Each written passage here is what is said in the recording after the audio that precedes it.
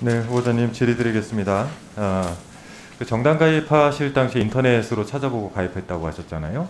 네, 이거 저 오래돼가지고 저 잊으셨을 것 같아서 저 저도 비슷하게 찾아보니까 이렇습니다. 정당법 4장 제 22조 2항에 보면 공무원과 사립학교 교원도 정당 가입은 안 됩니다. 다만 중고등학교법에 따라서 교수, 부교수, 조교수 및 강사는 정당 가입이 가능합니다. 아마 이 부분을 찾아보신 것 같아요. 네. 그건 좀 인지를 좀 하셔야 될 것 같고요. 네, 맞습니다. 그 오늘 이제 제가 그 오후 질의에서 동반 출장과 관련해서 좀 질의를 드리겠습니다라고 했습니다.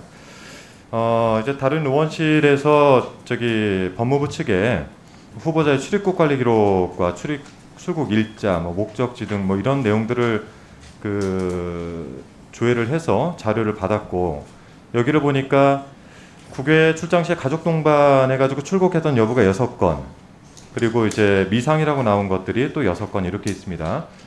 어, 이 자료 제출 법무부에서 받은 건 후보자의 출입국 관리 기록이죠. 그렇죠. 그러니까 가족 동반은 별도로 저희에게 제출한 자료이고 여기에 나갔던 미상으로 기록된 것들은 아마 본인 개인이 뭐 2009년부터 16년까지 이렇게 나가신 것 같아요. 네. 어, 이 부분에 대한 것도 좀 저기 하도 오래된 거니까 좀 알고 계셔야 되고 그 가족 동반에서 나갔다라고 하는 이 학회 어, 그 중에서 가장 유명했던 아마 다녀오신 학회 같습니다. I triple E 다녀오셨죠? 네, 다녀왔습니다. 네.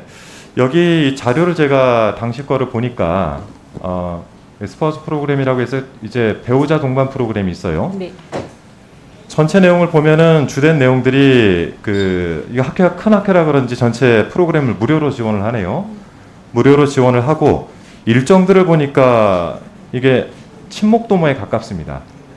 뭐 그런 일정들이 좀 포함이 돼 있어요. 예를 들어서 독일 학회도 마찬가지고 뭐 시티 투어나 이런 것들이 담겨는 있어요. 아마 학회의 목적의 일부분 친목 도모도 좀 담겨 있지 않나라는 생각이 좀 듭니다.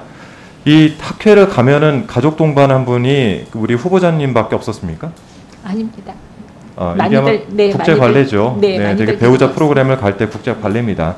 그러니까 우리나라만 고치기에는 이 관례 자체가 워낙 국제적으로 통용되고 있는 것이라 이런 부분에 대해서 좀 어, 어쨌든 국내 정세에 맞지 않기 때문에 지적이 나오고 있다는 점은 좀 인지를 좀 해주셔야 될 것 같고 어, 다만 가서 이제 작은 학회 같은 경우에는 이 비용들 전체를 대주지 못하는 경우가 있으니 어, 본인의 지출을 통해서 네. 이런 부분들을 메꾸고 본인이 부담을 해왔던 겁니다. 그렇죠? 네, 네. 네, 어, 좀 이 부분들에 대해서 좀 오해가 좀 없었으면 좋겠다라는 말씀드립니다.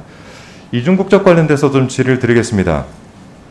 에, 아이들 자제분들이 두 분 어디서 태어났죠? 네, 미국에서 태어났습니다. 네, 뭐 첫째분은 어디서 태어났어요? 어, 첫째는 공부할 때 오스틴 텍사스에서 태어났습니다. 텍사스에서 태어났고 둘째는 어디 태어났습니까? 어, 벨랩에서 일하던 당시에 뉴저지 에디슨이라는 곳에서 태어났습니다. 네, 지금 현재 거주지는 어디죠? 어, 어, 초등학교 이전부터 서, 아, 한국에 와서 쭉 살고 있습니다. 네, 한국에 와서 계속 살고 있죠. 네.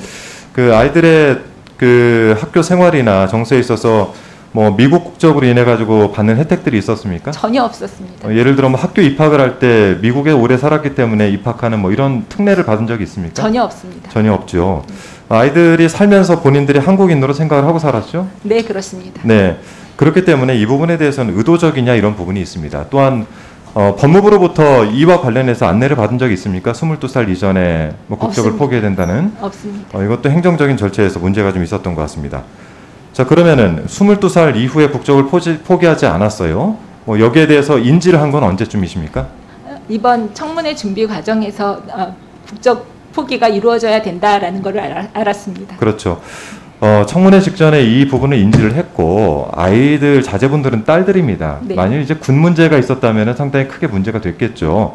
막 그래서 이런 부분에 대한 인지를 하지 못하고 지내셨던 것 같습니다.